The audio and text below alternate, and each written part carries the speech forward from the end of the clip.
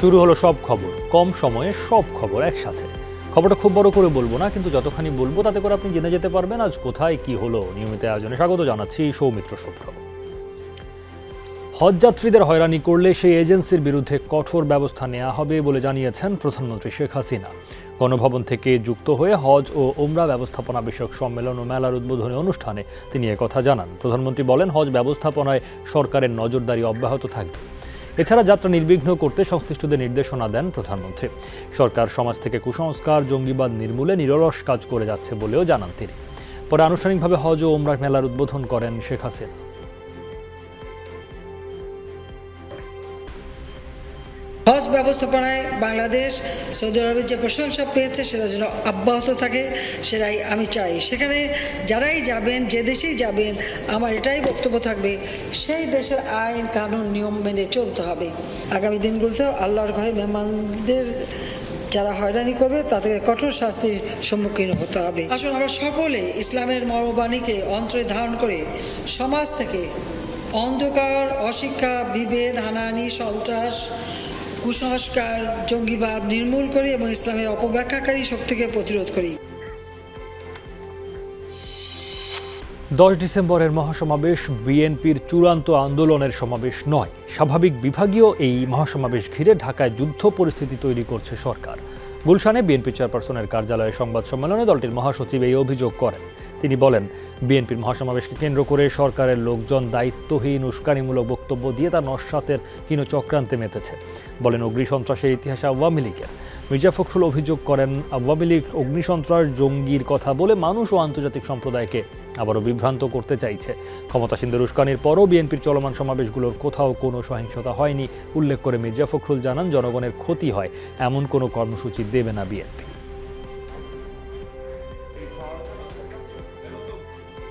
একটা সামগ্রিকভাবে একটা এমন একটা আবহ তৈরি করছে ঢাকা সমাবেশকে কেন্দ্র করে, যেন মনে হচ্ছে যে দশ তারিখে ঢাকা একটা যুদ্ধ হবে। এটা তারা তৈরি করছে।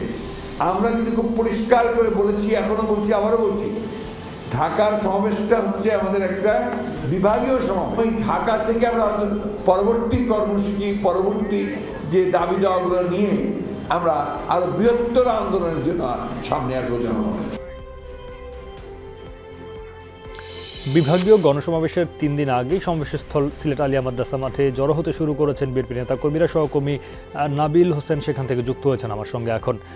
নাবিল, সমাবেশের প্রস্তুতি কেমন দেখছেন? ধর্মঘটের বিষয়ে এখানকার নেতাকর্মীরা কি বলছেন? এখন সেই আলিয়া মাদ্রাসা মাঠে উপস্থিতি কেমন নেতাকর্মীদের?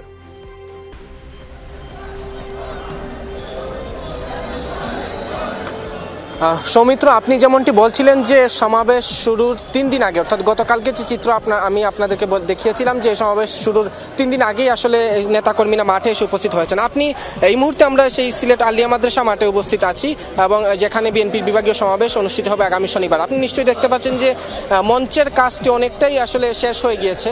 এর পাশাপাশি এই আলিয়া মাদ্রাসায় অনেকগুলো তাবুত তৈরি করা হয়েছে যাতে বিভিন্ন স্থান থেকে বিএনপি নেতাকর্মীরা আসলে এখানে রাত যাপন করতে করতে পারবেন। এবং আপনি এখন দেখতে পারবেন যে এই আলিয়া মাদ্রাসা মাঠ কিন্তু স্লোগানে স্লোগানে মুখরিত হয়ে আছে। সিলেটের বিভিন্ন অঞ্চল থেকে নেতাকর্মীরা এখানে উপস্থিত হয়েছেন। তারা ধীরে ধীরে আসতে শুরু করেছেন। আজকে সকাল থেকে বিশেষ করে আমরা দেখতে পেয়েছি যে অনেক নেতাকর্মীরা আসতে শুরু করেছেন। রাতে আসলে আরও বেশি নেতাকর্মী বাড়বে বলে স্থানীয় নেতৃবৃন্দ ধারণা করছে এবং তারা ধারণা করছে যে আগামীকাল আসলে পুরো মাঠটাই আসলে নেতাকর্মীরা, নেতাকর্মীদের মধ্যে ভরে যাবে। আরেকটি তথ্য যেটা ধর্মঘটের তথ্য আপনি জানতে চেয়েছেন। ধর্মঘট প্রথম দিকে বাংলাদেশ সড়ক পরিবহন, মালিক সমিতি সিলেট জেলা শাখা, বাস এবং মিনি বাসের ধর্মঘটের আহ্বান তারা ডাক দিয়েছিলেন আগামী উনিশ তারিখে সকাল ছয়টা থেকে সন্ধ্যা ছয়টা পর্যন্ত। কিন্তু কিছুক্ষণ আগে আমরা জানতে পেরেছি যে সিলেটে সব ধরনের পরিবহনের ধর্মঘটের ডাক দিয়েছে সিলেট জেলা শ্রমিক ঐক্য পরিষদ। তারা বলছে যে, চার দফা দাবিতে আসলে তারা আগামী উনিশ তারিখ সকাল ছয়টা থেকে সন্ধ্যা ছয়টা পর্যন্ত সিলেটে সব ধরনের পরিবহন, অর্থাৎ যে আমরা যেসব গণপরিবহন থেকে শুরু করে সব ধরনের পরিবহন, পণ্য পরিবহন পর্যন্ত আসলে বন্ধ থাকবে বলে তারা তারা বলছেন। এর বাইরে আমরা দেখেছি যে সিলেটের এই সমাবেশকে কেন্দ্র করে সিলেটের পরিস্থিতি আসলে অনেকটাই শান্ত, তবে বিকেলের দিকে সিলেটের মহানগর ছাত্রলীগের উদ্যোগে একটি মিছিল বের হয় এবং সেই মিছিলটি এই যে সমাবেশস্থল, সেই সমাবেশস্থলের পাশ দিয়ে যায়, তখন কিছুটা উত্তেজনা তৈরি হতে আমরা দেখেছি। কিন্তু এর বাইরে এর বাইরে আসলে আমরা দেখেছি যে খুব শান্তিপূর্ণভাবেই আসলে সিলেটের যে সমাবেশের পরিস্থিতি, সমাবেশ পরিস্থিতি আছে, এখন পর্যন্ত রয়েছে এবং নে- নেতা কর্মীরাও এই মাঠে এসে উপস্থিত হতে শুরু করেছেন। সৌমিত্র। ধন্যবাদ নাবিল আপনাকে। বিএনপির কোনো সভা সমাবেশে বাধা দেয়নি আওয়ামী লীগ। বিএনপি মহাসচিব মির্জা ফখরুলের বাধা দেওয়ার অভিযোগ ভিত্তিহীন ও বানোয়াট বলে মন্তব্য করেছেন আওয়ামী লীগ সাধারণ সম্পাদক ওবায়দুল কাদের। সকালে এক বিবৃতিতে ওবায়দুল কাদের বলেন, জনগণ বিএনপিকে ঘৃণা ভরে প্রত্যাখ্যান করেছে। আর জনগণ দ্বারা প্রত্যাখ্যাত বিএনপি প্রতিশোধের নেশায় বিভিন্ন সময়ে সন্ত্রাসের উত্তাপ ছড়িয়েছে। সরকার সেই সন্ত্রাসের উত্তাপ থেকে জনগণকে নিরাপত্তা দেওয়ার চেষ্টা করেছে। ওবায়দুল কাদের বলেন, মির্জা ফখরুল নিজেই বলেছেন তাদের সমাবেশ শান্তিপূর্ণ হয়েছে, সমাবেশে সরকার বাধা দেয়নি। সরকার শুধু সতর্ক ছিল যাতে বিএনপি সন্ত্রাসী কর্মকাণ্ড না করতে পারে। বিএনপি তাদের ত্রাসের রাজত্ব কায়েমের জন্য আবারও চিহ্নিত সন্ত্রাসীদের মাঠে নামিয়েছে, এমন অভিযোগ করে ওবায়দুল কাদের বলেন। আইনশৃঙ্খলা বাহিনী সুনির্দিষ্ট তথ্যের ভিত্তিতে সেসব সন্ত্রাসীদের বিরুদ্ধে ব্যবস্থা নিচ্ছে সরকার কারও বিরুদ্ধে মিথ্যা মামলা দায়ের করছে না। হত্যার রাতে বুয়েট শিক্ষার্থী ফারদিনকে যাত্রাবাড়ি থেকে তুলে নিয়েছিল কয়েকজন। এ ঘটনায় এক লেগুনা চালক ও হেলপার নজরদারিতে রয়েছেন বলে জানিয়েছেন ঢাকা মহানগর গোয়েন্দা পুলিশের প্রধান হারুনা রশিদ। দুপুরে ব্রিফিংয়ে তিনি বলেন, রাত সোয়া দুটার দিকে সাদা গেঞ্জি পরা একজন তাকে লেগুনাতে তুলে নেয়। সেখান থেকে লেগুনাটি তারাব বিশ্ব রোডের দিকে যায়। সে সময় গাড়িতে আরও তিন চারজন ছিলেন। ডিবি প্রধান আরও জানান ফারদিনকে সুলতানা কামাল সেতুর দিকে নিয়ে যাওয়া হয়েছিল রাত পৌনে দশটার দিকে। ফারদিনের অবস্থান ছিল রামপুরা। রাত এগারোটার দিকে জিঞ্জিরা গুলিস্তান ও যাত্রাবাড়ি। হারুনুর রশিদ জানান, এতে বোঝা যায় ফারদিনের চনপাড়ায় যাওয়া সম্ভব নয়, সেখানে হত্যাকাণ্ডের তথ্য সঠিক নয় তাকে লেগুনায় জোর করে তোলা হয়েছিল কিনা, তা খতিয়ে দেখছেন গোয়েন্দা। কীভাবে ঘটনাটি ঘটেছে সেটা আমরা এখনও কনক্রিট তথ্যে আসছি না। তবে এটা আমরা বুঝতে পেরেছি যে সোয়া দুইটার পরে তাকে যে লেগুনায় তুললেন এবং সেখানে গাড়িতে যেখানে আঠারো জন লোক থাকার কথা, সেখানে তিনজন লোক, চারজন লোক আর ফারদিনকে এই লেগুনায় তুলে তাকে একদম সুলতানা সেতু পার হয়ে বিশ্ব রোডের দিকে নিয়ে গেলেন। সেখানে কি ঘটনাটি ঘটছে কিনা সেটাও আমরা তদন্ত করছি। মাদকের সাথে বা ধূমপানের সাথে এটা তার সাথে কোনো সম্পৃক- সম্পৃক্ততা নেই। এটা ইনিও কিন্তু ক্লিয়ার করেছেন এবং আজকে আমিও ক্লিয়ার করেছি আমি নিজেও আসলে আপনাদের সাথে যখনই এই বিষয়টা এসছে তখন কিন্তু আমি ক্লিয়ার করেছি। আমার ছেলেটি ধূমপান কখনো করতো না।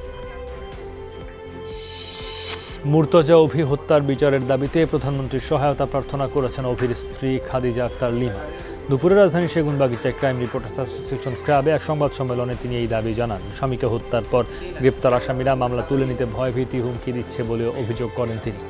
থানা পুলিশ মামলার অধিকাংশ আসামিদের গ্রেপ্তার করতে পারলেও এখনও দু একজন পলাতক আছেন। মামলাটি বগুড়া কোর্ট থেকে দ্রুত বিচার ট্রাইব্যুনালে নেবার দাবি জানিয়েছে নিহতের পরিবার। গত আঠাশ সেপ্টেম্বর বগুড়ার শেরপুরে একদল অস্ত্রধারী সন্ত্রাসী কুপিয়ে হত্যা করেন মুর্তজা অভিকে। যে হুমকিগুলো আমাদের দেওয়া হচ্ছে। তো সেক্ষেত্রে আমরা চাচ্ছি এই আর এবং তারা ম্যাজিস্ট্রেট কোর্ট থেকে জজ কোর্টে জামিন নামঞ্জুর হয়ে তারা এখন হাইকোর্টে ঘোরাঘুরি করতেছে। তারা আমাদেরকে খবর পাঠাচ্ছে যে একবার জামিনে বের হতে পারলে আমাদের প্রাণে মেরে ফেলবে। রাজধানীর হাতির ঝিলে আইন শৃঙ্খলা বাহিনীর পরিচয়ে তরুণ তরুণীকে মারধর ও যৌন হয়রানি করেছে একদল যুবক। মোবাইল মানিব্যাগ ছিনিয়ে নেওয়ার অভিযোগও পাওয়া গেছে।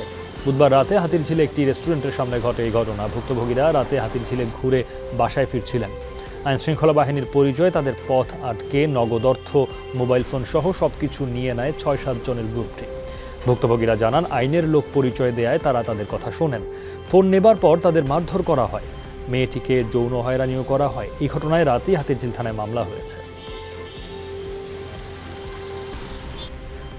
ফোনটাতে ফোনটা দিলাম, বলতে পাসওয়ার্ড বল।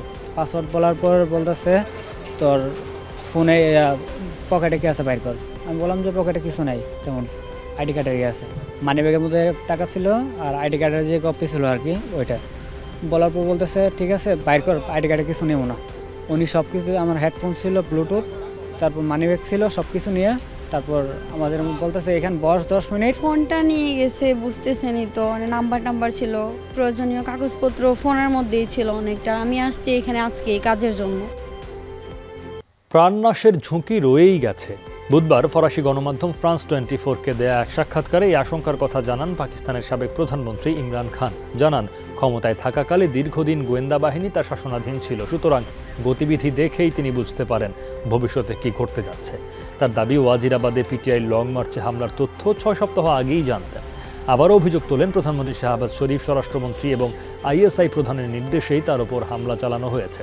কারণ বিরোধী দলের জনপ্রিয়তায় ভীত সরকার।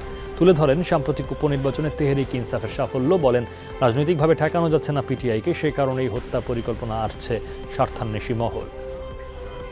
The reason why they want me to be eliminated is my এখনও প্রাণনাশের হুমকি রয়েছে আমার কারণ এই মুহূর্তে পাকিস্তানের সবচেয়ে জনপ্রিয় রাজনৈতিক দল পিটিআই। সুতরাং পথের কাটা দূর করতে আমাকে হত্যার চেষ্টা করছে স্বার্থান্বেষী মহল। পঁচাত্তর শতাংশ ভোট পেয়ে উপনির্বাচনে আমরা জয়ী হয়েছি কারণ পাকিস্তানিরা দুর্নীতিগ্রস্ত সরকারকে দেখতে চায় না। বৈধ উপায়ে ইমরান ও তার দলকে হটাতে না পেরেই পৃথিবী থেকে সরানোর এই পরিকল্পনা। 61% of the cabinet has corruption.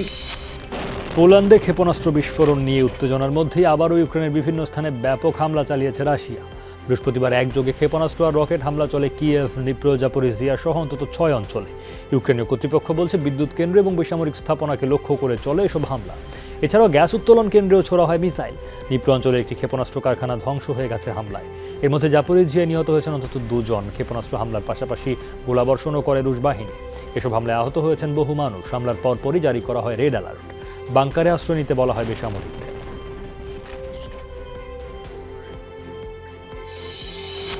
অনিশ্চয়তার অবসান ঘটিয়ে আরও চার মাস বাড়ল কৃষ্ণসাগর দিয়ে খাদ্যশস্য সরবরাহ চুক্তির মেয়াদ। বৃহস্পতিবার এই তথ্য নিশ্চিত করে ইউক্রেন ও তুরস্কের কর্মকর্তারা। এই ঘোষণাকে স্বাগত জানিয়েছেন জাতিসংঘের মহাসচিব অ্যান্টনিও গুতেরাস। বিবৃতিতে জানান, গুরুত্বপূর্ণ সমুদ্রপথে বাধাবিঘ্ন ছাড়াই শস্য ও পণ্য পরিবহন হোক, এটাই প্রত্যাশা। একই সাথে বলেন, রাশিয়া থেকে বীজ সার রফতানিতে যেসব সংকট রয়েছে, সেগুলো সমাধানেও কাজ করবে জাতিসংঘ। টুইট বার্তায় মেয়াদ বৃদ্ধির বিষয়টি নিশ্চিত করেছেন ইউক্রেনের প্রেসিডেন্টও। জুলাইতে খাদ্য সরবরাহ রুট চালুর মধ্যস্থতা করে তুরস্ক। যুদ্ধরত দুই দেশ, রাশিয়া ও ইউক্রেন, করে সমঝোতা চুক্তি সই, কিন্তু কৃষ্ণসাগরে টহলরত জাহাজের উপর মিসাইল হামলার জেরে গেল মাসে সরবরাহ বন্ধের ঘোষণা দেয় রাশিয়া। আগামী উনিশ নভেম্বর ঢাকা বিশ্ববিদ্যালয়ের তিপ্পান্নতম সমাবর্তন অনুষ্ঠিত হবে। সমাবর্তনে অংশ নিচ্ছেন বিশ্ববিদ্যালয়ের চ্যান্সেলর, রাষ্ট্রপতি মোহাম্মদ আব্দুল হামিদ। সকালে এক সংবাদ সম্মেলনে বিশ্ববিদ্যালয়ের উপাচার্য অধ্যাপক ডক্টর মোহাম্মদ আক্তারুজ্জামান কথা জানিয়ে বলেন, এবার বিশ্ববিদ্যালয়ের কেন্দ্রীয় খেলার মাঠে মূল সমাবর্তন অনুষ্ঠান হবে। একই সাথে সাত কলেজ থেকে পাশ করা শিক্ষার্থীরা ঢাকা কলেজ ও ইডেন কলেজ ভেন্যু থেকে ভার্চুয়ালি সমাবর্তনে যোগ দেবেন। সমাবর্তনে অংশ নিতে এরই মধ্যে রেজিস্ট্রেশন করেছেন তিরিশ হাজার তিনশোর বেশি শিক্ষার্থী। উনিশ নভেম্বর বিশ্ববিদ্যালয় এলাকায় সকাল থেকে সমাবর্তন শেষ না হওয়া পর্যন্ত গণপরিবহন বন্ধ থাকবে বলেও ভিসি সাংবাদিকদের জানান। এরই মধ্যে রেজিস্ট্রেশন করা শিক্ষার্থীদের মাঝে টুপি, গাউন বিতরণ করা হয়েছে। এসব কস্টিউম পলি ব্যাগে বিতরণ করার যে অভিযোগ, তা আমলে নিয়ে টিস্যু ব্যাগে বিতরণ করার কথাও জানান তিনি।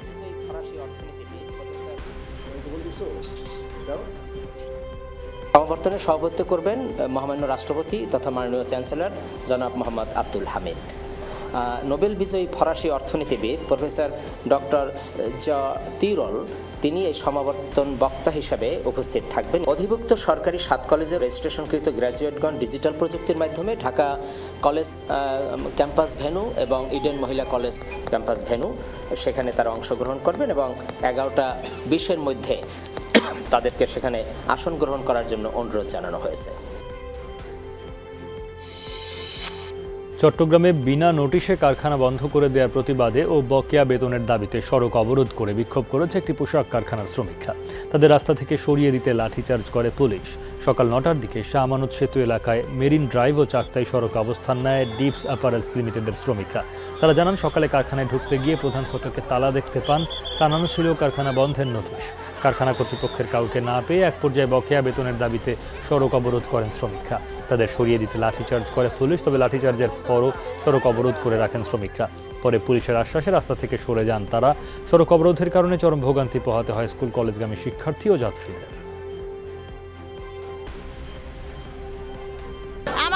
মাসের স্যালারি দিবে তো আজকে দেওয়ানোর কথা। আমরা কালকে ফার্স্ট পর্যন্ত ডিউটি করছি। বলছে আজকে আসার জন্য সকালে আসে দেই টালা মারা। কাছে কোনো আশ্বাস পাচ্ছি না। আমরা তাই রাস্তায় নামছি। পুলিশ কেন একটা তুলবে? পুলিশ হোক বা যাই হোক। তাদেরকে বিভিন্নভাবে আমরা আশ্বাস দিতে চেষ্টা করেছি। তাদের দাবি দেওয়া এটা অবশ্যই কর্তৃপক্ষ বিবেচনা করবে এবং সেই অনুযায়ী অবস্থা ব্যবস্থা নেবে। প্রতিকূল অবস্থার মধ্যেও সর্বকালের মধ্যে সর্বোচ্চ আমন ধান উৎপাদন হয়েছে বলে জানিয়েছেন কৃষিমন্ত্রী আব্দুর রাজ্জাক। দুপুরে সচিবালয়ে সাংবাদিকদের এই তথ্য জানান তিনি। মন্ত্রী বলেন, বৃষ্টি কম হয় আমন ধান নিয়ে শঙ্কা ছিল, তবে অতীতের যে কোনো সময়ের তুলনায় লক্ষ্যমাত্রার চেয়ে ফলন ভালো হবে। বিদেশি সয়াবিনের ওপর নির্ভরশীলতা কমাতে এবছর দেশে সরিষার ভালো উৎপাদন হবে বলে আশা প্রকাশ করেন মন্ত্রী। বিশ্ব খাদ্য কর্মসূচি তথ্য উল্লেখ করে ডক্টর রাজ্জাক বলেন, দেশের বিশ শতাংশ মানুষের কষ্ট হচ্ছে।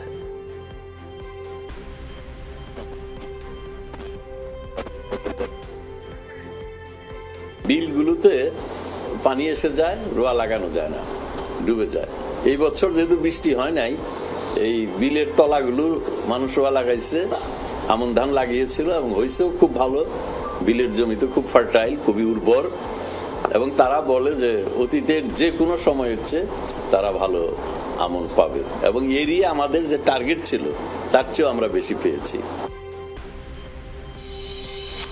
Rajshahi city mayor H M Khairuzzaman লিটনের সাথে সৌজন্য সাক্ষাৎ করেছেন চীনা রাষ্ট্রদূত লি জিমিং। সকালে মেয়রের কার্যালয়ে দেখা করেন তারা।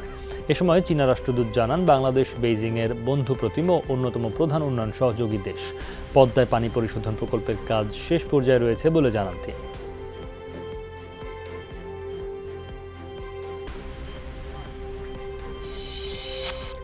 জামায়াতে ইসলামী বা যুদ্ধাপরাধে সম্পৃক্ত কোনো দলকে নিবন্ধন না দিতে ইসির প্রতি আহ্বান জানিয়েছে প্রজন্ম একাত্তর।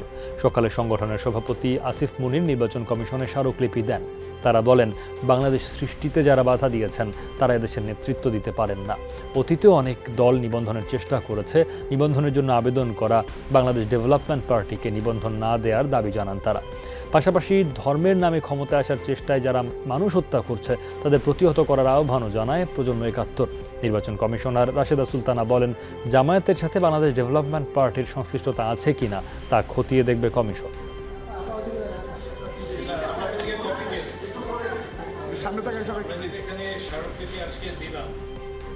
জামাতে ইসলাম এবং ইসলামী ছাত্র শিবিরের আদর্শের সাথে সেরকম কোনো ব্যক্তি যদি তাদের রাজনৈতিক দল গঠন করেন এবং তারা কোনোভাবে এখানে নিবন্ধন জন্য আবেদন করেন তাদের যাতে নিবন্ধন না দেওয়া হয়। একই অপরাজনীতির ধারাবাহিকতা আমরা কারও মধ্যে দেখি এবং সেটা যাচাই করবার দায়িত্ব কিন্তু নির্বাচন নির্বাচন কমিশনের। হিজাব ইস্যুতে আরও চার বিক্ষোভকারীকে মৃত্যুদণ্ড দিল ইরানের আদালত। সৃষ্টিকর্তার বিরুদ্ধে শত্রুতার দায়ে বুধবার রেভলিউশনারি কোর্ট দেয় এই রায়। সাজাপ্রাপ্তদের পরিচয় জানানো হয়নি, বলা হয় একজনের বিরুদ্ধে পুলিশ কর্মকর্তার গাড়িতে হামলা এবং তাকে হত্যার অভিযোগ প্রমাণিত হয়েছে। অস্ত্র ব্যবহারের অপরাধে সাজা হয় দুজনের। তাছাড়া রাস্তা অবরোধের মাধ্যমে সন্ত্রাসী কর্মকাণ্ড চালানোর অপরাধে একজনকে শাস্তি দেওয়া হয়। এ নিয়ে চলমান আন্দোলনে জড়িত পাঁচজনের মৃত্যুদণ্ডের রায় হলো ইরানে সাজার নিন্দা জানিয়েছে মানবাধিকার সংগঠনগুলো। দাবি যথাযথ বিচার ছাড়াই দেয়া হয়েছে মৃত্যুদণ্ড। হিজাব ইস্যুতে চলমান আন্দোলনে কমপক্ষে তিনশো আটচল্লিশ জনের মৃত্যু হয়েছে। আটক ষোলো হাজারের মতো মানুষ।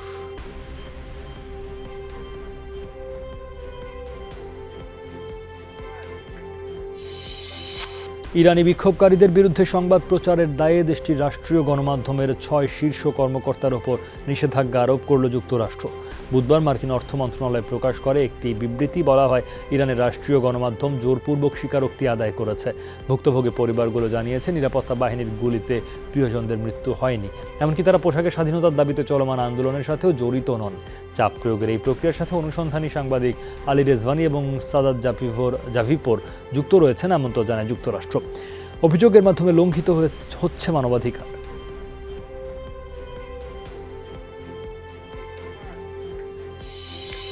বিশ্বকাপের আগে দুঃসংবাদ পেলেন পোল্যান্ড এবং বার্সেলোনার তারকা খেলা রবার্ট লেভানডভসকে।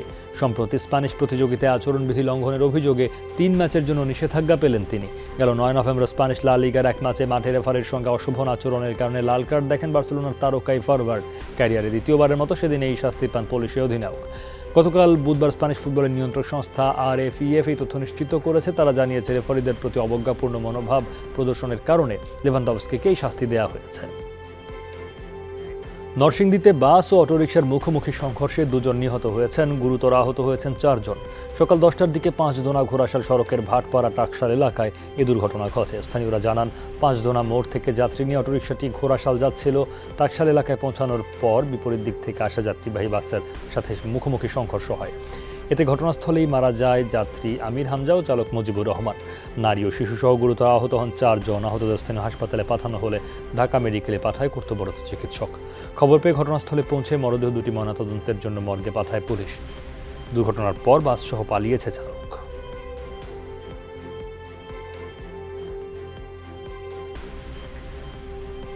এদিকে শরীয়তপুরের নড়িয়ায় যাত্রীবাহী বিআরটিসি বাস খাদে পড়ে আহত হয়েছেন পঁচিশ জন। দুপুর বারোটার দিকে জামতলা এলাকায় এই দুর্ঘটনা ঘটে। ফায়ার সার্ভিস জানায়, শরীয়তপুরের ডামুড্ডা থেকে যাত্রী নিয়ে ঢাকা যাওয়ার সময় জামতলা এলাকায় পৌঁছালে নিয়ন্ত্রণ হারিয়ে বাসটি খাদে পড়ে যায়। এতে বাসে থাকা পঁচিশ যাত্রী আহত হন। খবর পেয়ে ঘটনাস্থলে সে এলাকাবাসীর সহায়তায় যাত্রীদের উদ্ধার করা হয়। আহতদের বিভিন্ন হাসপাতালে চিকিৎসার জন্য নেওয়া হয়েছে।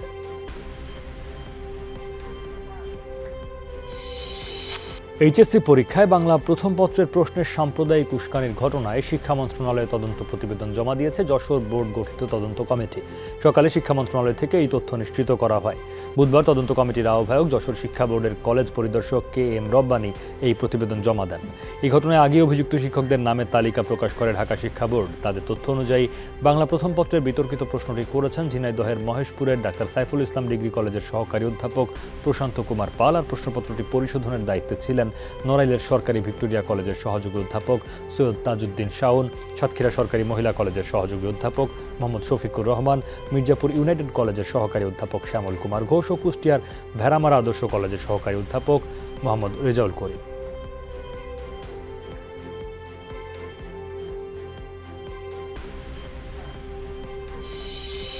গ্রামীণ এলাকায় এগারো থেকে সতেরো বছর বয়সী শিশুদের বাড়িতে, স্কুলে এবং কর্মক্ষেত্রে নিরানব্বই শতাংশ শারীরিক নির্যাতন, সাতানব্বই শতাংশ মানসিক নির্যাতন এবং আটাত্তর শতাংশ অবহেলার শিকার। এক হাজার চারশো ষোলো জনের উপর হওয়া গবেষণায় এই তথ্য উঠে এসেছে। সকালে বিএসএমএমইউতে শিশু স্বাস্থ্য বিকাশ ও সুরক্ষা শীর্ষক অনুষ্ঠানে পাঁচ বছরের গবেষণার ফলাফল প্রকাশ করেন গবেষকরা। দেখা যায়, ইন্টারনেট সম্পর্কে কম জ্ঞান এবং সঠিকভাবে ব্যবহার না জানায় অনলাইনে শিশুরা নানাভাবে নির্যাতনের শিকার হচ্ছে। কর্মজীবী, প্রতিবন্ধী এবং বস্তি এলাকার শিশুরা অত্যাচারের সম্মুখীন হওয়ার ঝুঁকিতে বেশি থাকে। ঢাকার বস্তি এলাকায় পরিচালিত একটি গবেষণায় দেখা যায়, ছিয়াশি শতাংশ শারীরিক, চুরানব্বই শতাংশ মানসিক নির্যাতনের শিকার। শিশু নির্যাতনের নেতিবাচক প্রভাব সম্পর্কে অসচেতনতা, নির্যাতন নিষিদ্ধে কঠোর আইনের অভাব, সমাজ থেকে শিশু নির্যাতন দমনে মূল বাধা মনে করেন গবেষকরা।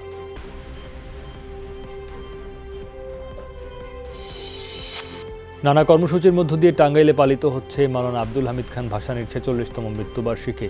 সকালে পৌর শহরের সন্তোষে তার মাজারে ফুল দিয়ে শ্রদ্ধা জানিয়ে দিনব্যাপী কর্মসূচি উদ্বোধন করেন মাওলানা ভাসানি বিজ্ঞান ও প্রযুক্তি বিশ্ববিদ্যালয়ের ভিসি অধ্যাপক ডক্টর ফরাদ হোসেন। পরে মাওলানা ভাসানীর পরিবার, বিভিন্ন রাজনৈতিক দল, সামাজিক ও সাংস্কৃতিক সংগঠন খ্যাতিমান এই রাজনীতিকের মাজারে ফুল দিয়ে শ্রদ্ধা জানায়। এ সময় তার আত্মার মাগফেরাত কামনায় দোয়া ও মোনাজাত করা হয়। এছাড়া আলোচনা সভা, মিলাদ মাহফিল, দুস্থদের মধ্যে খাবার বিতরণ সহ নানা কর্মসূচির আয়োজন করা হয়।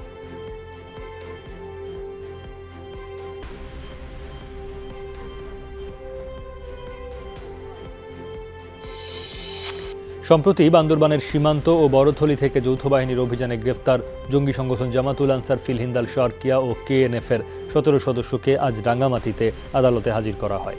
চিফ জুডিশিয়াল ম্যাজিস্ট্রেট আদালতের বিচারক কাউসার পারভিন তাদের পুনরায় কারাগারে পাঠানোর নির্দেশ দেন। পরবর্তী শুনানির তারিখ ধার্য করা হয়েছে আগামী চোদ্দ ডিসেম্বর। অভিযোগ রয়েছে, জঙ্গি সংগঠন জামাতুল আনসার ফিল হিন্দাল শারকিয়ার সদস্যরা অর্থের বিনিময়ে বিচ্ছিন্নতাবাদী সংগঠন কেএনএফ থেকে প্রশিক্ষণ নিত।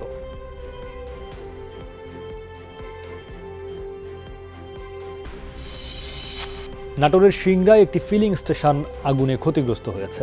গত রাত সাড়ে দশটার দিকে সিংড়া বাসস্ট্যান্ড এলাকার সিংড়া ফিলিং স্টেশনে আগুন লাগে পাম্পের মালিক, উপজেলা বিএনপি সদস্য সচিব দাউদার মাহমুদ জানান, ভূগর্ভস্থ তেল সংরক্ষণাগারের পাইপ মুখে আগুন লাগে এতে ঘটনা, হতাহতের ঘটনা না ঘটলেও বিপুল পরিমাণ জ্বালানি তেল পুড়ে যায়।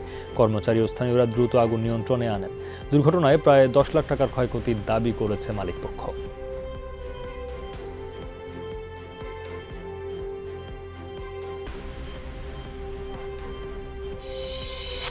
জাতীয় শুদ্ধাচার কৌশল কর্মপরিকল্পনা বাস্তবায়নের অংশ হিসেবে মৎস্য সেবা বিষয়ক গণশুনানি অনুষ্ঠিত হয়েছে চট্টগ্রামে। সকালে মৎস্য অধিদপ্তর আয়োজিত গণশুনানিতে কর্মকর্তারা বলেন, সরকারের নানামুখী উদ্যোগে দেশে ইলিশ সহ সামুদ্রিক ও মিঠা পানির মাছ উৎপাদন বেড়েছে। জেলে ও চাষিদের প্রণোদনা বৃদ্ধির পরিকল্পনার কথাও জানান তারা। গণশুনানিতে মৎস্যজীবী, জেলে ব্যবসায়ী, আড়তদার, হ্যাচারি ও বোট মালিক, পোনা আহরণকারী সহ স্টেক হোল্ডাররা অংশ নেন। এতে মৎস্য অধিদপ্তরের মহাপরিচালক খন্দকার মাহবুবুল হক, পরিচালক শামীমারা বেগম সহ অন্যরা বক্তব্য রাখেন।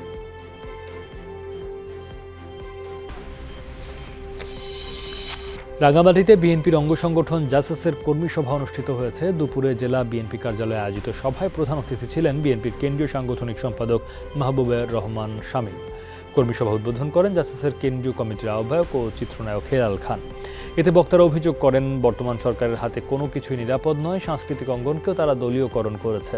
দেশে গণতন্ত্র প্রতিষ্ঠায় আওয়ামী লীগ সরকারকে হটানোর বিকল্প নেই বলেও মন্তব্য করেন বক্তারা।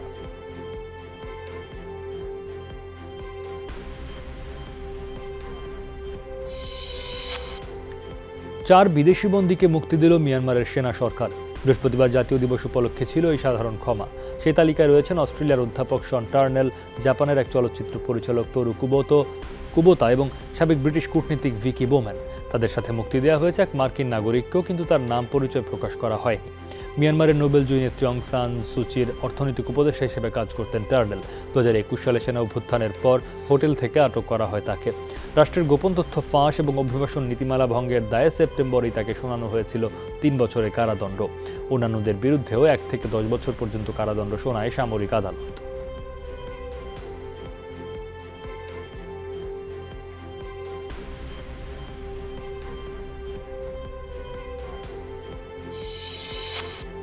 মার্কিন কংগ্রেসের প্রতিনিধি পরিষদের নিয়ন্ত্রণ ফিরে পেল রিপাবলিকানরা। মধ্যবর্তী নির্বাচনে সংখ্যাগরিষ্ঠতায় প্রয়োজনীয় দুশো আঠারোটি আসন নিশ্চিত করেছে লাল শিবির। বুধবার ক্যালিফোর্নিয়া রিপাবলিকান প্রার্থী মাইক গার্সিয়ার জয়ের মধ্য দিয়ে ম্যাজিক ফিগারে পৌঁছায় দলটি, তবে প্রত্যাশা অনুযায়ী গড়তে পারেনি বড় ব্যবধান। এই পর্যন্ত ডেমোক্রেটদের দখলে গেছে দুশো নয়টি আসন। এবার ন্যান্সি পেলোসির জায়গায় স্পিকার হতে পারেন রিপাবলিকান নেতা কেভিন ম্যাককার্থি। মঙ্গলবার দলের পক্ষ থেকে প্রস্তাব করা হয় তার নাম। প্রেসিডেন্ট জো বাইডেনও জানিয়েছেন অভিনন্দন। নিম্নকক্ষে সংখ্যাগরিষ্ঠতার ফলে সরকারের উত্থাপিত বিল আটকে দেওয়ার সুযোগ পেল রিপাবলিকানরা। স্বল্প ব্যবধানে সিনেটে আধিপত্য ধরে রেখেছে ডেমোক্র্যাটরা।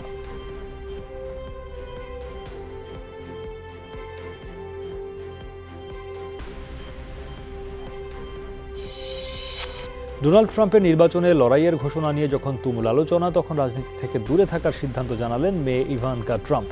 এক বিবৃতিতে জানান, পরিবারকে অগ্রাধিকার দিতে চান তিনি, তাই রাজনীতিতে জড়ানোর পরিকল্পনা নেই। বলেন, সন্তান ও পরিবার নিয়ে ব্যক্তিগত জীবনযাপন করতে চান। অবশ্য বরাবরের মতোই থাকবেন বাবার পাশে। জানান, প্রয়োজনে ট্রাম্পের সহায়তায় কাজ করবেন। সবসময় মার্কিন জনগণের সেবা করবেন বলেও জানান তিনি।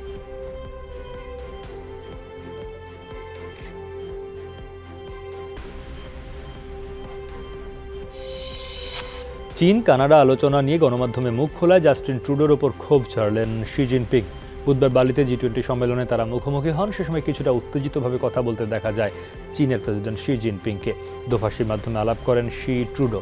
মান্দারিন ভাষায় শি অভিযোগ করেন, দুজনের আলোচনার সবকিছুই পত্রিকায় প্রকাশিত হয়েছে, যা ঠিক হয়নি। জবাবে ট্রুডো বলেন, স্বচ্ছ ও মুক্ত আলোচনায় বিশ্বাস করে কানাডা। পর অবশ্য হাসি মুখে করমর্দন করে বিদায় নেন দুই নেতা। মঙ্গলবার জি টোয়েন্টি সম্মেলনের সাইড লাইনে দশ মিনিটের এক অনানুষ্ঠানিক বৈঠক করেন দুই নেতা। সেখানে চীনের গুপ্তচর বৃত্তীয় কানাডার নির্বাচনে হস্তক্ষেপ নিয়ে উদ্বেগ জানান ট্রুডো।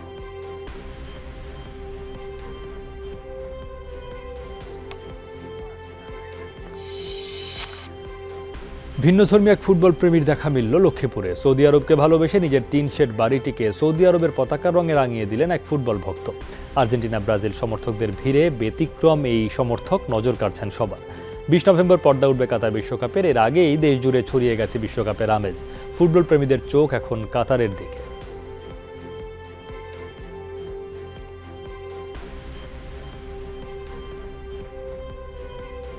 নিজের ঘর সাজানো তারপরে পতাকা টাঙানো তারপরে মন থেকে সাপোর্ট দেওয়া মোটামুটি এটা দেখতে ভালোই লাগে। এটা দেখে আমরা খুশি। এখন আমরা সাপোর্টার তো করি আরও দশজনরা আমরা এটা সাপোর্টার করে। প্রিয় নবীজি হজরত মোহাম্মদ সাল্লাহ সাল্লামের জন্মভূমি সেই কারণে আমরা সৌদি আরবকে সমর্থন করি। এবং এশিয়ার একটি মুসলিম দেশ হিসেবে আমি সৌদি আরবকে সমর্থন করি। এছাড়াও সৌদি আরব আমাদের বাংলাদেশের যে কোনো দুর্যোগে দুর্বিভাগে সবার আগে তারা আমাদেরকে সাপোর্ট করে আমরা সৌদি আরবের কাছে কৃতজ্ঞ। বিশ্বকাপ ফাইনালে ব্রাজিলের মুখোমুখি হতে চান ক্রিস্টিয়ানো রোনালদো, এমন বক্তব্যে পুরো ফুটবল বিশ্বে তোলপাড় ফেলে দিয়েছেন রোনালদো। যদিও ম্যানচেস্টার ইউনাইটেডকে ঘিরে বিতর্ক পাশ কাটিয়ে এখন তার সব মনোযোগ কাতার বিশ্বকাপে। বিশ্বকাপের শ্রেষ্ঠত্বের মঞ্চে কোন দলের বিপক্ষে মুখোমুখি হতে চান সেটিও বলেছেন তিনি। শিরোপার লড়াইয়ে ব্রাজিলের মুখোমুখি হতে পারলে খুশি হবেন বলেও জানান তিনি। চব্বিশ নভেম্বর ঘানার বিপক্ষে বিশ্বকাপ অভিযান শুরু করবে পর্তুগাল। এইচ গ্রুপের অন্য দুই প্রতিপক্ষ লুইস সুয়ারেজ, এডিনসন কাভানির উরুগুয়ে ও সন হিউয়েন মিনের দক্ষিণ কোরিয়া।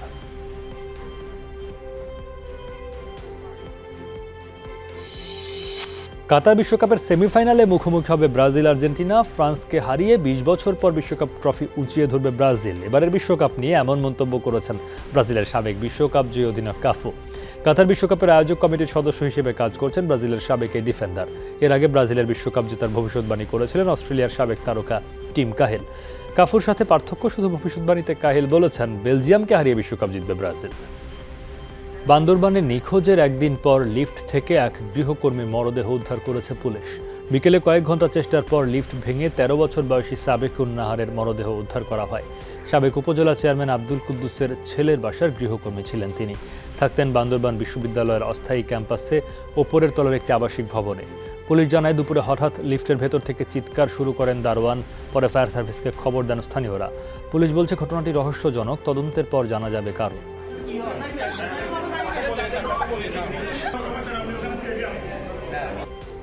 বাপসি দুষ্টামি করে যদি আবার বাইরে চলে যায় আমি আর আমার মেয়েটা এক ঘণ্টা রিক্সা দিয়ে হাইটা আমি পাড়া দুনিয়া খুঁজে যদি বিদ্যুৎ চলে যায় তাহলে এটা যদি তিন তলায় বন্ধ হয়ে যায় ও বের হওয়ার কোনো সুযোগ নাই দরজা কেটেও বের করার সুযোগ নেই। প্যারিস প্যারাডাইস ওই ইয়েটা লিফটগুলার ব্যাপারে চরম উদাসীনতার পরিচয় দিছে।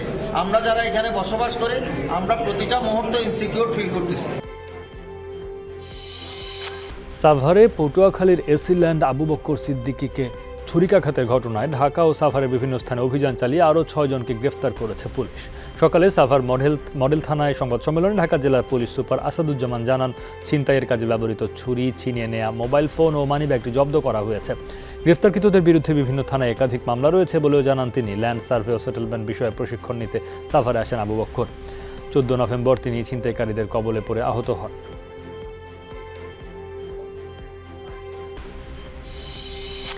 দফায় দফায় হামলা ও প্রাণনাশের হুমকি দেওয়ায় জীবনের নিরাপত্তা দাবি করে চট্টগ্রামে সংবাদ সম্মেলন করেছেন পতেঙ্গার এক ব্যবসায়ী। চট্টগ্রাম প্রেস ক্লাবের সংবাদ সম্মেলনে রুল আফসার নামে ওই ব্যবসায়ী দাবি করেন। তিনি কেন্দ্রীয় আওয়ামী লীগের উপ ধর্ম বিষয়ক উপকমিটির সাবেক সদস্য। তার দাবি, গত চোদ্দ নভেম্বর রাতে পতেঙ্গা সৈকতের চাইনিজ ঘাট এলাকায় সশস্ত্র সন্ত্রাসীরা তার উপর হামলা ও হত্যার চেষ্টা চালায়। এর আগেও একাধিকবার হামলা চালানো এবং প্রতিনিয়ত হত্যার হুমকি দেয়া চিহ্নিত সন্ত্রাসীদের দ্রুত গ্রেফতারের দাবি জানান ভুক্তভোগী ব্যবসায়ী।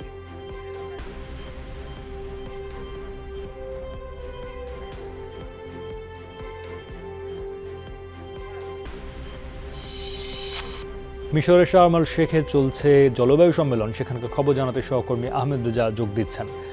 রেজা, জলবায়ু সম্মেলনের আগের অভিজ্ঞতার যে বলে যে নির্ধারিত সময় হচ্ছে দু একদিন বারে সম্মেলনের কর্মসূচি। এবার তাই হচ্ছে কি না এবার আজকের দিনের সার্বিক আসলে আলোচনা বা অগ্রগতি এই সম্মেলনের একটু জানতে চাই আপনার কাছ থেকে।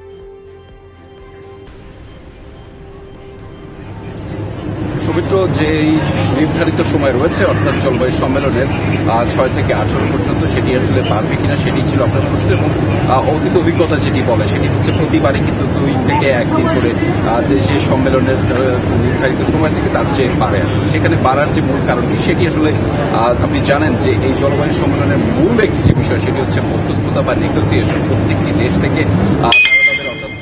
দেশগুলো, তারা তাদের ক্ষতির পরিমাণটি নির্ধারণ করে তারা তাদের ঠিক কতখানি সেই অর্থ তহবিল পাবেন কিংবা তহবিল গঠনের যেই দায়ী দেশগুলো রয়েছে, তারা আসলে কি সেটি নিয়ে বেশ কিন্তু দর কষাকষি থাকে।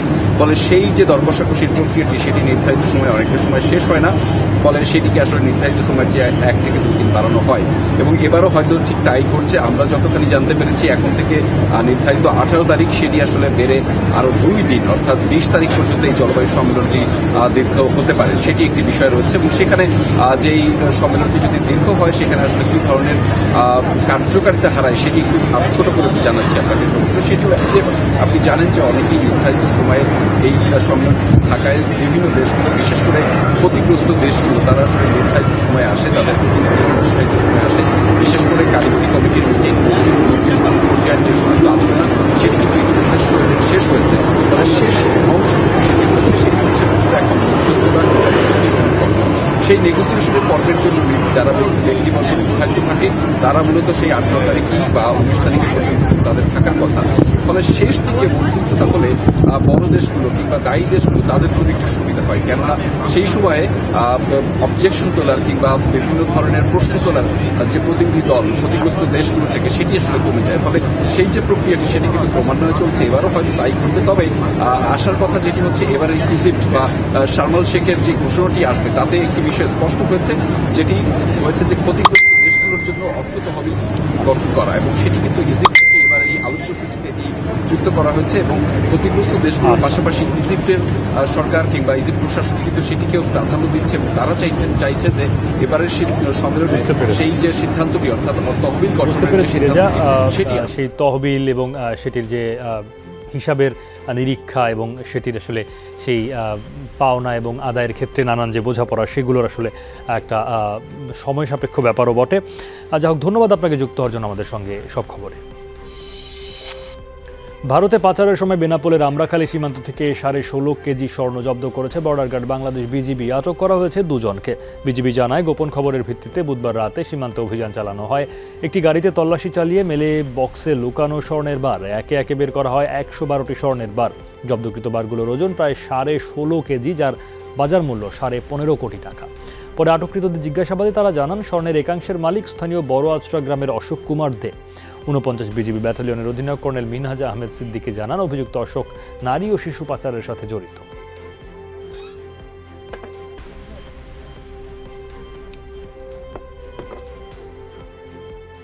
পিকআপের কেবিনে বক্সের মধ্যে বিশেষ কায়দায় সুকৌশলে লুকায়িত অবস্থায় একশো বারোটি স্বর্ণের বার সহ দুইজন আসামিকে আটক করা হয়। উক্ত স্বর্ণের বর্তমান বাজার মূল্য পনেরো কোটি তেতাল্লিশ লক্ষ আটষট্টি হাজার পাঁচশত টাকা। আখাউড়া সীমান্তে পিক ভর্তি মাছ সহ তিন পাচারকারীকে আটক করেছে জেলা মাদকদ্রব্য নিয়ন্ত্রণ অধিদপ্তর, বিজিবি ও নির্বাহী ম্যাজিস্ট্রেটের সমন্বয়ে গঠিত টাস্ক ফোর্স দল।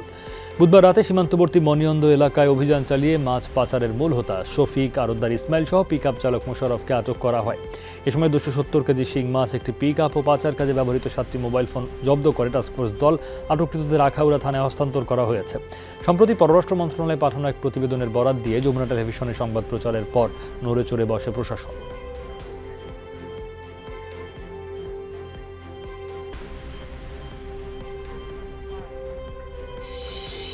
মেরিন সেক্টরে সারা বিশ্বে গুরুত্বপূর্ণ অবদান রাখছে বাংলাদেশের দক্ষ জনবল, তাদের অভিজ্ঞতাকে কাজে লাগিয়ে বাংলাদেশের সমুদ্র গবেষণা ও বাণিজ্য এগিয়ে নেওয়ার আহ্বান জানিয়েছেন শিক্ষা উপমন্ত্রী ব্যারিস্টার মহিবুল হাসান চৌধুরী। রাজধানী কৃষিবিদ ইনস্টিটিউশনে বঙ্গবন্ধু শেখ মুজিবুর রহমান মেরিটাইম ইউনিভার্সিটির আয়োজনে আন্তর্জাতিক সেমিনারে এই আহ্বান জানান উপমন্ত্রী। বলেন, দেশের সমুদ্র সম্পদের নিরাপত্তা নিশ্চিতে এই বিশ্ববিদ্যালয় বড় ভূমিকা রাখবে। এজন্য সম্মিলিত প্রচেষ্টা চালানোর উপর গুরুত্ব দেন তিনি। অনুষ্ঠানে ভারতের গোয়া ইউনিভার্সিটির সাথে সহযোগিতা চুক্তি সই হয়।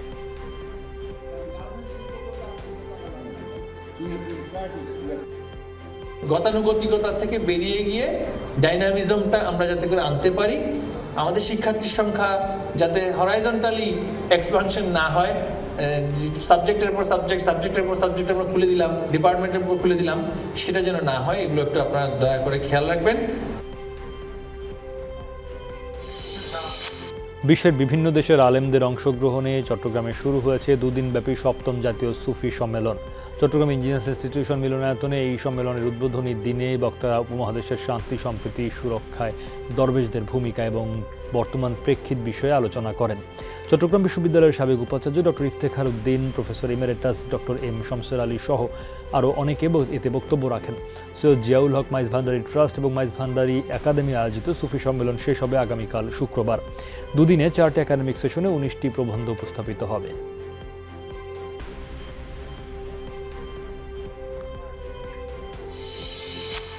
চট্টগ্রামে কোরআন হাফেজদেরকে সংবর্ধনা দিয়েছে কিরাতুল কোরআন মডার্ন হাফিজ মাদ্রাসা। নগরীর চাঁদগাঁও ক্যাম্পাসে উপলক্ষে আয়োজিত অনুষ্ঠানে বক্তারা কোরআন শিক্ষার গুরুত্ব ও তাৎপর্য তুলে ধরেন। মাদ্রাসায় শিক্ষার বিস্তারের পাশাপাশি শিক্ষার্থীদের মধ্যে মানবিক মূল্যবোধ জাগ্রত করার আহ্বান জানান তারা। পরে ছয় কৃতি শিক্ষার্থীকে পাগড়ি ও ক্রেস্ট প্রদান এবং নতুন নয় শিক্ষার্থীকে কোরআনের সবক প্রদান করা হয়।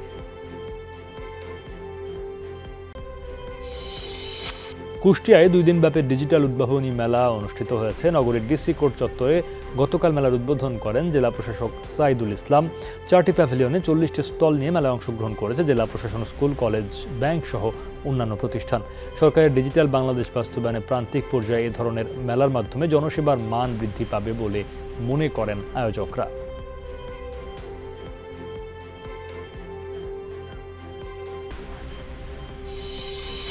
বর্ণিল আয়োজনের মধ্য দিয়ে ঠাকুরগাঁওয়ে হয়ে গেল নবান্ন উৎসব। বুধবার রাতে জেলা শিল্পকলা একাডেমি চত্বরে এই উৎসব অনুষ্ঠিত হয়। উৎসবে জেলার বিভিন্ন সাংস্কৃতিক সংগঠনের শিল্পীরা লোকগান, নাচ ও আবৃত্তি পরিবেশন করেন। জেলা প্রশাসন, শিল্পকলা একাডেমির কর্মকর্তা, সাংবাদিক সহ বিভিন্ন শ্রেণি পেশার মানুষ অনুষ্ঠান উপভোগ করেন।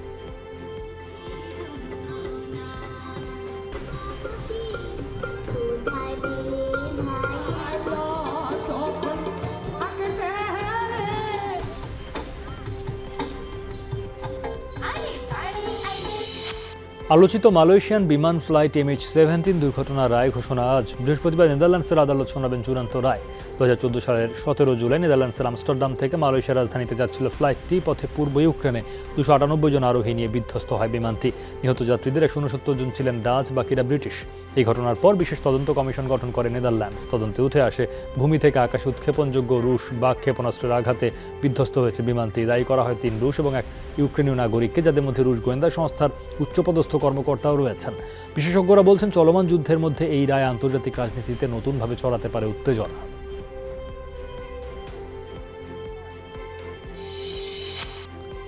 এক সপ্তাহে বিরতির পর আবারও ব্যালিস্টিক ক্ষেপণাস্ত্র উৎক্ষেপণ করেছে উত্তর কোরিয়া। বৃহস্পতিবার দেশটির পূর্ব উপকূল থেকে এই ক্ষেপণাস্ত্র ছোড়া হয় বলে দাবি করেছে দক্ষিণ কোরিয়া। স্বল্পপাল্লার ক্ষেপণাস্ত্রটি প্রায় দেড়শো মাইল দূরের লক্ষ্যবস্তুতে আঘাত হানে। পরমাণু অস্ত্র বহনের সক্ষম মিসাইলটি ভূমি থেকে ভূমিতে আঘাত হানার লক্ষ্যে তৈরি করা হয়েছে। চলতি বছর উত্তর কোরিয়া রেকর্ড সংখ্যক ক্ষেপণাস্ত্রের পরীক্ষা চালিয়েছে। শুধু মিসাইলই নয়, দক্ষিণ কোরিয়া ও যুক্তরাষ্ট্রের সামরিক মহড়া চলাকালে সাগরে কয়েকশো রাউন্ড কামানের গোলাও নিক্ষেপ করে পিয়ংইয়ং।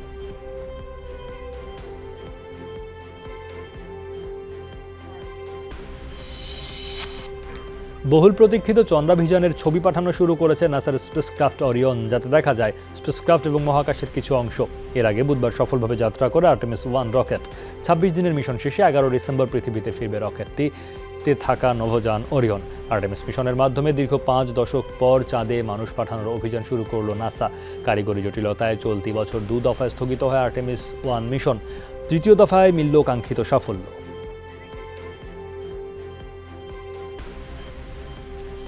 এই ছিল সব খবরে।